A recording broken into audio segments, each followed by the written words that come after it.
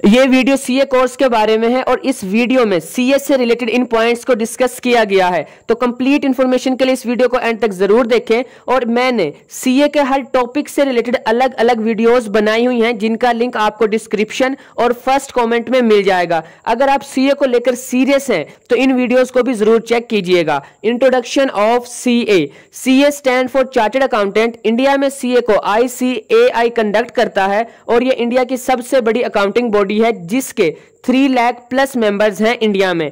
India में CA का scope और सैलरी दूसरी क्वालिफिकेशंस के कंपैरिजन में काफ़ी हाई है। ये एक प्रोफेशनल कोर्स है। सीए का main focus accounting taxation and auditing पर होता है।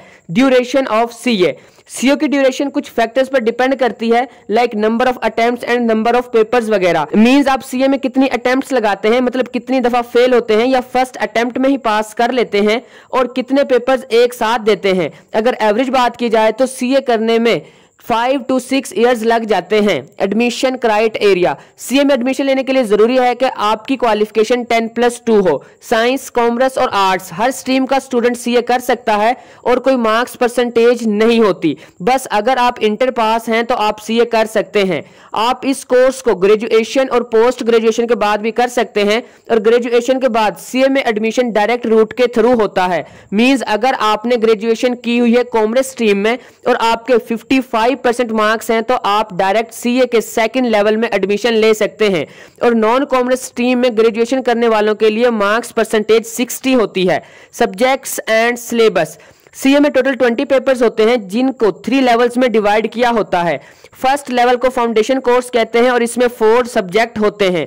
सेकंड लेवल को इंटरमीडिएट कोर्स कहते हैं और इसमें टोटल एट सब्जेक्ट्स होते हैं, जिनको फर्दर टू ग्रुप्स में डिवाइड किया होता है।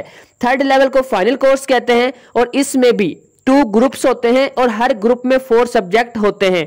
और सीए में mostly subjects accounting business finance auditing management and business laws से रिलेटेड होते हैं।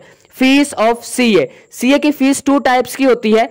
Tuition fees and fees of ICAI tuition fees different coaching centres में डिफरेंट होती है। तो ट्यूशन फ़ीस का आप अपने करीबी कोचिंग सेंटर से पता कर सकते हैं और सीए के लिए आप ऑनलाइन क्लासेस भी ले सकते हैं। अगर आईसीएआई की फ़ीस की बात की जाए तो वो हर स्टूडेंट के लिए सेम होती है। आईसीएआई की total fees minimum fifty thousand के राउंड अबाउट होती है। स्कोप ऑफ़ सीए मैं इस टॉपिक पर पहले भी वीडियो बना चुका हूँ तो इसलिए यहाँ पर शॉर्टली सीए का स्कोप बता रहा हूँ। इस कोर्स का स्कोप बहुत हाई है। इस कोर्स की जॉब अपॉर्चुनिटीज़ भी बहुत ज़्यादा है। और इस बात का अंदाज़ा आप इस तरह लगा सकते हैं कि सीए का अनएम्प्लॉयमेंट रेट ज़ीरो परसेंट है। सीए करने के बाद आपको सीनियर लेवल की जॉब मिलती है और अगर आप जॉब नहीं करना चाहते तो आप अपना बिज़नेस भी कर सकते हैं। सीए के बाद आपको बड़ी अच्छी कंपनीज़ में जॉब मिलती हैं जिनकी सैलरी भी अच्छी खासी होती है। इन शॉर्ट सीए का स्कोप बहुत हाई है। तो अगर आप अकाउंटिंग और फाइनेंस की फ़ील्ड में कैरियर बनाना चाहते हैं तो सीए एक बेस्ट ऑप्शन है।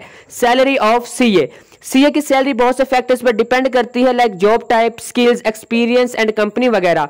तो इन फैक्टर्स की वजह से आपकी सैलरी कम या ज़्यादा हो सकती है। मैं यहाँ पर एवरेज सैलरी बता रहा हूँ। Starting salary six to eight lakhs per annum तक होती है और सीए की average salary ten to fifteen lakhs per annum के राउंड अबाउट होती है।